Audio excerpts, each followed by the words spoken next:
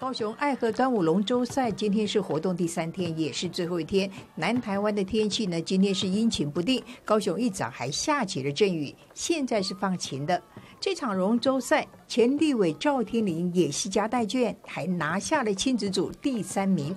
来听听他怎么说。就我们的小朋友的幼儿园，他们一起报名，说很想要来参加亲子组。那对小朋友来讲都是第一次，所以我们就通通大朋友就陪小朋友一起来玩了。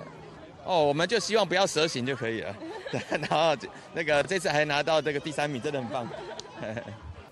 这场爱河龙舟赛下午还有国际友谊赛，市长陈其迈会率领市政府的队伍呢，迎战高雄市议会议长康一成率领的议会队。另外还有美国在台协会高雄分处和日本交流协会的队伍。赛后也会安排高雄的吉祥物高雄熊代表颁奖。